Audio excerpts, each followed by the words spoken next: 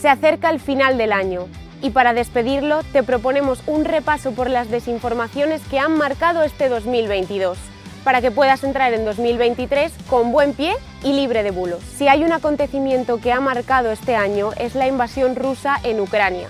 La guerra ha creado una ola de desinformación y uno de los bulos que más se han difundido es el que negaba la matanza de civiles en la ciudad ucraniana de Bucha por parte de Rusia. Como presunta prueba, se viralizaron vídeos en los que supuestamente se veía cadáveres moviéndose, pero el análisis de las imágenes lo desmiente. Como se puede ver en el mismo vídeo con mayor resolución, los cadáveres no se mueven en ningún momento, simplemente aparece el destello de una gota de agua en el parabrisas. Otro de los grandes acontecimientos que han marcado este 2022 ha sido la muerte de la reina de Inglaterra, Isabel II, el 8 de septiembre. Tras su fallecimiento, multitud de información comenzó a propagarse por las redes. Entre todos los bulos se viralizó uno que supuestamente mostraba el interior del ataúd de la monarca como si una cámara se hubiese colado dentro, pero esta imagen es falsa. Formó parte de un montaje de un programa de comedia de Países Bajos.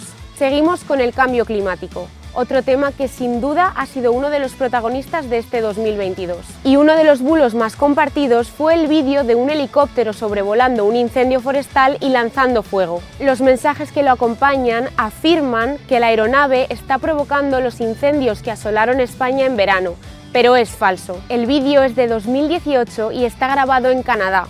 Además, el helicóptero no provoca un incendio forestal, sino que se trata de una técnica de extinción en la que se quema parte de la vegetación para crear un cortafuegos. La derrota de España ante Marruecos en el Mundial de Fútbol de Qatar trajo consigo muchas noticias falsas, una de las más compartidas fue referente a la iluminación del edificio de aguas de Murcia. Varios usuarios interpretaron que las luces verdes y rojas de la fachada de la empresa murciana representaban los colores de la bandera de Marruecos, pero es falso que esta iluminación tenga que ver con el partido. En realidad se trata de las luces de Navidad que usan cada año, como se puede comprobar al ver las imágenes del mismo edificio en 2019 y 2021. La pandemia de la COVID-19 ha seguido acompañándonos también este 2022 y en torno a ella han girado varias desinformaciones. Una de las más virales fue la afirmación de que un estudio había demostrado que las vacunas de ARN mensajero eran capaces de modificar el ADN en tan solo 6 horas. Pero es falso.